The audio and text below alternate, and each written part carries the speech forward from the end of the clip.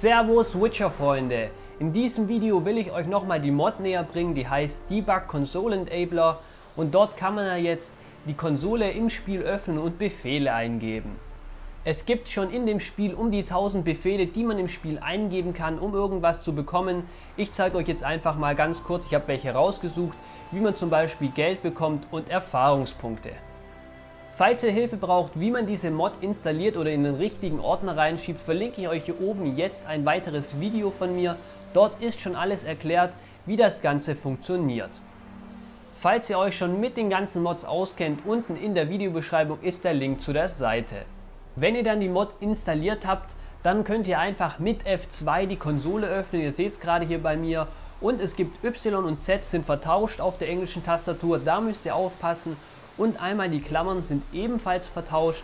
Da muss man einfach nicht 9 und da müsst nicht 8 und 9 drücken, sondern 9 und 0. Ja, wir können dann einfach anfangen mit diesem Mod. Ich öffne jetzt hier einfach nochmal die komplette Zeile mit F2. Wir fangen mit dem Geldmod an. Ihr habt gerade gesehen, ich hatte 24.000 Gold und ich schreibe jetzt hier einfach rein Add Money und dann machen wir da nochmal die zwei Klammern hinten ran und können einen beliebigen Wert reinschreiben, was ihr wollt, ob ihr jetzt 1000 reinschreibt oder 50.000, das ist scheißegal.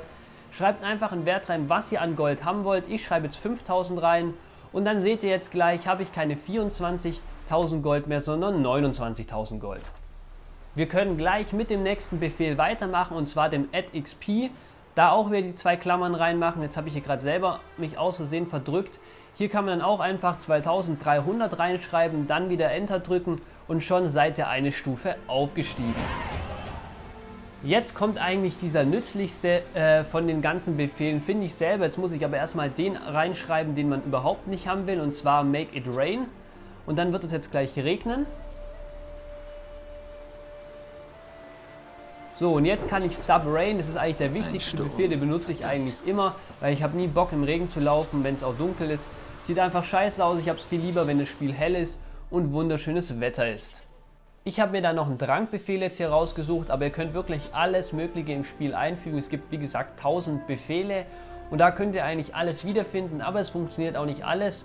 Und ich habe jetzt hier diesen Add Mutagents, ich hoffe mal, ich habe es so richtig englisch ausgesprochen.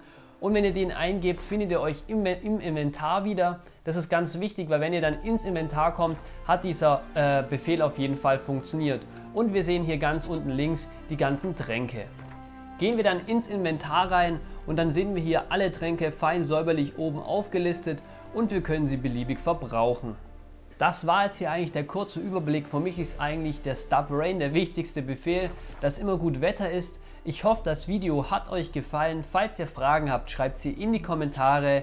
Ich bin weg. Ciao, haut rein.